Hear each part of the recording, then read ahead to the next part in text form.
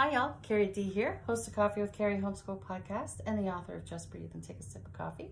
You can't see my face today because we're doing a series where I am playing some of my favorite math games with either a simple deck of cards or a pair of dice. Now this game is just perfect for your junior hires and your high schoolers. So yes, there are some fun games that you can play with them as well.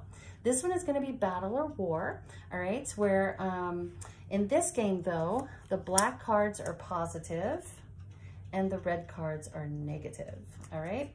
And so just like in Battle or War, um, your daughter flips over one card, that would be a black 10, so that's a positive 10.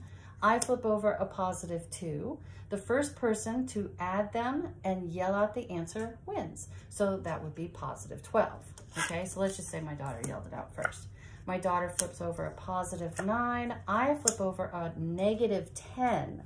So we're adding those up. The first one to scream out negative one wins the cards because if I'm in debt 10 and you have $9, uh, the answer is negative one. You're in debt. So um, I yelled it out first, so I get them. So my daughter flips over a card, negative three. I flip over card, positive nine. Remember, we're adding these up, and so that's gonna be six, positive six. So whoever screams that out first wins the game, okay, or wins the cards. You can also do this, once again, where the red is negative and the black is positive, but instead of adding, you can practice your multiplying of integers, okay? So the first person that screams out negative 42 would win those two cards, all right?